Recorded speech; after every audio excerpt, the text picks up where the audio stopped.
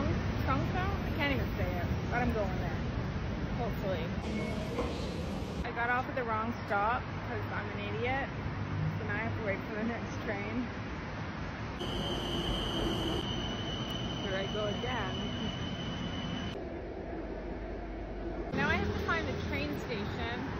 I was asking the lady at the uh, at the ticket office if she could help me, and she was basically yelling at me over this loudspeaker. It was so muffled that it just kept sounding like she just was saying, "Layaway, layaway, layaway, layaway," louder and louder. I didn't know what that meant.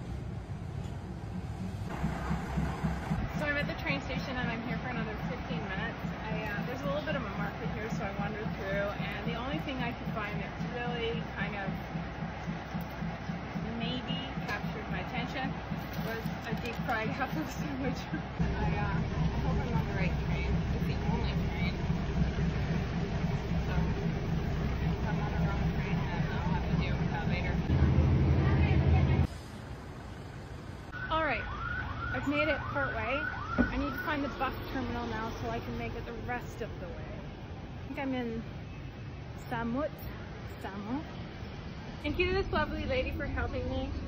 I don't know what she's got on her nose, but anyways, I have been all over the place trying to figure out how to get to this town. Um, I've ordered a couple taxis. I've gotten on a bus. Um, I was told to wait here for maybe two hours for another bus. Thank you. And now I need to find the place where I'm supposed to be picked up. I'm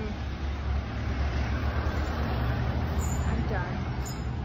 Today I'm done. You can see how frenzied I look. Just, it's so hot, it's so muggy.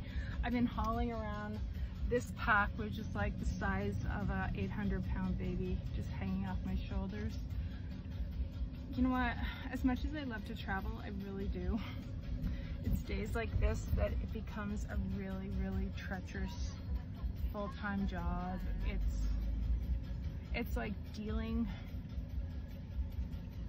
the worst boss of your life, and we've all had them. But turn that horrible boss into a really heavy, horrible boss, and it's your job to carry that person around all day long in the heat, not speaking